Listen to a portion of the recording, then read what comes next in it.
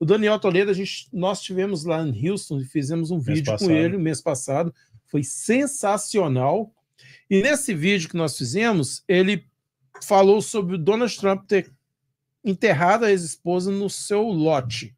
Né? E isso gerou aí uma certa confusão entre as pessoas, falando que. Que ele só fez isso para ganhar o abatimento do imposto. Algumas pessoas mandaram um vídeo de um cara que falou assim: olha, isso não acontece, não tem abatimento nenhum e tal. Então eu gostaria que o Daniel Toledo refizesse para gente, é, respondendo para gente sobre, né, esse, sobre esse assunto.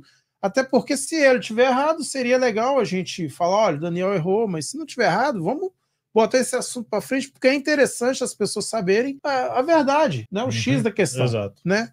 Então, Daniel, se você puder responder para a gente, seria muito Bom, para a gente poder colocar esse vídeo na semana que vem aqui no nosso canal. Valeu, obrigado. Meus caríssimos Éder Santos, Lauri Santista, pessoal do canal Os Felas Cast, que eu assisto todos os vídeos e agradeço demais vocês ao, ao carinho. Vocês mandaram para mim uma pergunta com relação ao vídeo que eu gravei anteontem e eu acho mais fácil, ao invés de eu responder aqui, dizer exatamente a mesma coisa, eu acho legal a gente mandar aqui alguns trechos daquele vídeo que responde essa questão é, sobre o Donald Trump ter colocado ali a ex-esposa, enterrado a ex-esposa no, no campo de golfe dele de New Jersey. Né? Eu tive, eu recebi um vídeo anteontem, gravei um vídeo, inclusive está no meu canal sobre, sobre isso. É, uma pessoa que questionou, falou que eu estava falando besteira, que não existia nada disso e tudo mais. Eu respondi com toda a educação e respeito que eu tenho por ele, apesar de não conhecê-lo. É, eu imagino que às vezes as pessoas fazem uma pesquisa muito superficial na internet e acabam não entendendo muito bem como funciona realmente essa questão legal.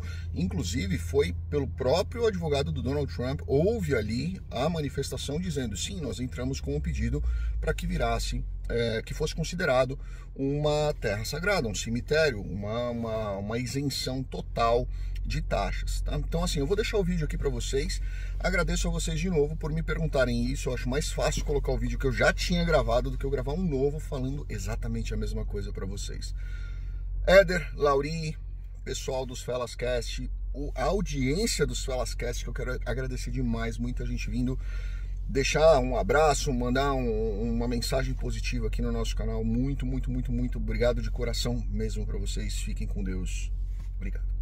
E aí me mandaram um link aqui de uma pessoa que usou um vídeo que eu gravei para o canal Os Felascast, dizendo que Donald Trump este, está, esteve e teve a intenção de ter benefícios fiscais, benefícios tributários, enterrando a primeira esposa dele no campo de golfe dele tá? Bom, eu vou, vou colocar aqui o vídeo dele e eu peço a vocês que o tratem com respeito, por favor, apesar dele ter falado uma coisa que não é verdade, eu quis responder aqui para vocês e quis trazer aqui essa questão porque o que, que eu tenho visto? E não sei nem o nome dele, tá? Pelo que eu vi lá no, no Instagram dele, até mandei uma mensagem para ele, falou, ó, vê direitinho o que você tá falando aí, porque você tá falando besteira. Mas enfim, eu vou botar o vídeo dele aqui porque tá gravado também, e eu resolvi responder isso aqui no meu vídeo, justamente porque é, ele termina o vídeo dele falando: olha, pesquisem. As pessoas que não pesquisam e não entendem do assunto são as pessoas que são mais enganadas. Eu concordo com ele. Tá? Eu concordo com ele. As pessoas que não pesquisam são as mais enganadas e aquelas que replicam a besteira que elas mesmas acreditam são mais enganadas ainda, enganam mais ainda aquelas outras pessoas que não sabem de absolutamente nada, né? principalmente quando não é uma área sua de trabalho.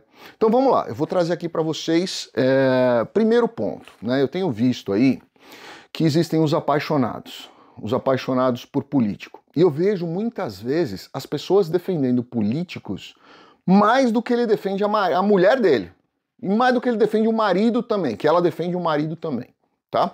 Então as pessoas são tão aficionadas por um político de estimação que nem sabe que você existe.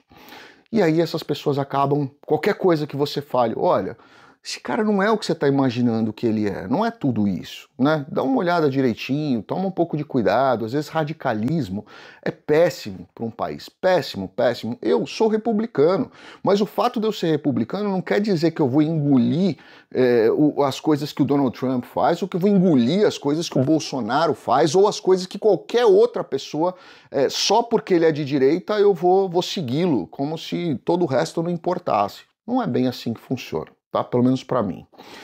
E aí eu vou colocar aqui para vocês o vídeo deles, é, dele, na verdade, onde ele postou esse vídeo, então me dá o direito também de postar a imagem dele, e eu vou terminar depois falando aqui com vocês. Vamos lá. Flávio, agora você põe o vídeo do cara aqui, tá?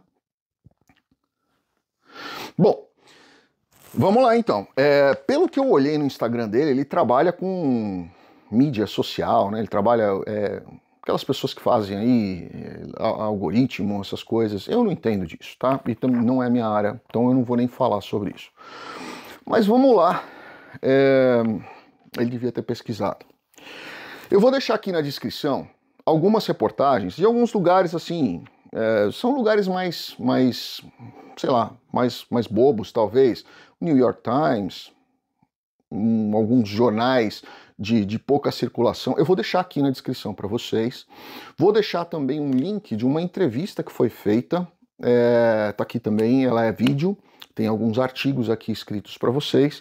E eu vou ler um deles aqui para vocês, né? Que, que, que foi publicado aqui no The Guardian. Tá? Eu vou deixar também o, o, o link do The Guardian aqui para vocês, porque ele é muito legal. Eu vou tentar traduzir aqui para vocês, mas vamos lá, eu vou deixar aqui qualquer coisa você jogar no Google lá e traduz, você vai ler direitinho, tá? O próprio The Guardian colocou assim: Ivana ajudará Donald Trump com incentivos fiscais, até além do túnel do, do túmulo.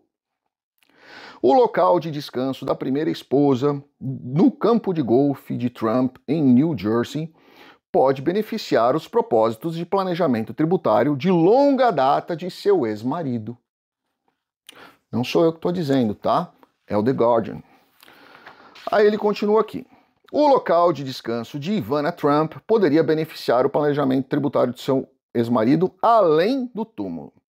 Como pesquisador tributário, olha, não sou eu que estou dizendo, e nem esse outro rapaz que, que eu não sei o nome dele aí, peço desculpa, mas não, também não, não é. Quem está dizendo aqui é um tributarista, tá? É ele que está falando isso aqui, certo? Como pesquisador tributário, eu era cético em. Isso aqui está entre aspas, vocês vão ver lá. É, eu era cético em relação aos rumores de que Trump enterrou sua ex-mulher naquele triste pedaço de terra em seu campo de golfe em Bedminster, Bad, New Jersey é, tão somente para obter alguns incentivos fiscais. Então eu fui verificar ele, tá? O tributarista. Eu fui verificar o Código Tributário de New Jersey e pessoal, amigos, queridos, não sei. É, é uma trifeta de evasão fiscal. Imposto sobre propriedade de renda, vendas, todos eliminados escreveu Harrington. Depois que opinião, é, depois de dar a sua opinião sobre o acusado Donald Trump de ser é, motivado principalmente pela possibilidade de uma isenção de impostos. Na hora que começaram a aparecer essas, essas possibilidades de isenção de, de impostos nas denúncias e redes sociais. Harrington later tweeted, uh, mais tarde postou um tweet, dizendo que para, de acordo com o tax code de New Jersey, ao contrário do que esse moço falou aí, eu acho que é, ele, ele, entende de redes sociais. É, a terra de cemitério, enquanto não houver nenhuma decisão contrária, o, o, e ali estiver um human remains, um, um corpo, né, uma, uma, uns, o, que, o que sobrou de um corpo, é, eles devem ser é, traduzidos como benefícios para vendas, é, contratos, é, arrangements e tudo mais. Esta terra não é taxável, certo? É, aí ele continua dizendo aqui é, que a esposa faleceu. Eu sugiro que vocês leiam, porque o artigo é muito grande, tá? É, eles, eles sugerem que a esposa faleceu em Nova York, que não tinha absolutamente nada a ver enterrar lá em New Jersey, dentro do campo de golfe dele, até porque eles não tinham uma relação das melhores possíveis. É, e aí ele, o Trump, é, ele fez uma redenominação do lugar ali como Ten Plot Private Family Cemetery. Curioso, né? Mudou o nome do, do campo de golfe ali no registro e não no, no, é, no espaço é, inteiro ali. Ele mudou só no registro e não o nome fantasia continuou mesmo. Aí ele continuou aqui colocando que ela foi. É, ela fez um. Ela morreu em Manhattan, fez o, o velório em Manhattan, mas o Trump insistiu em levá-la para ser é, enterrada lá numa terra de 10 acres, é, ali em Badminton.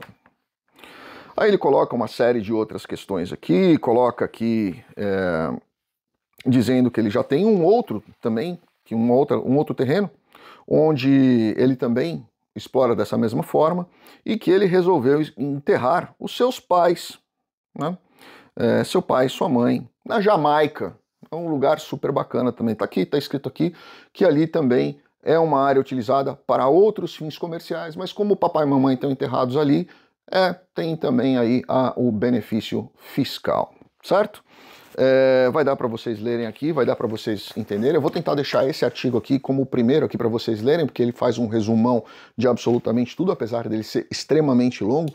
Ele conta bastante a história, ele traz aqui a legislação e tudo mais.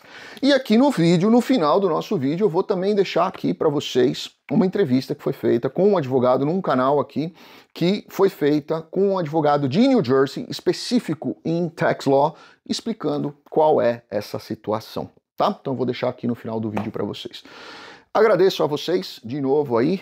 É, fazendo esse vídeo aqui muito mais em tom de brincadeira do que de qualquer tipo de, de, de animosidade, né? Apesar dele ter dito que eu falei besteira, eu estou deixando aqui é, a ele os meus cumprimentos. Vi lá o Instagram dele, tem acho que 15, 16 mil seguidores. Eu tenho certeza que o trabalho dele ele deve fazer de uma forma extremamente competente.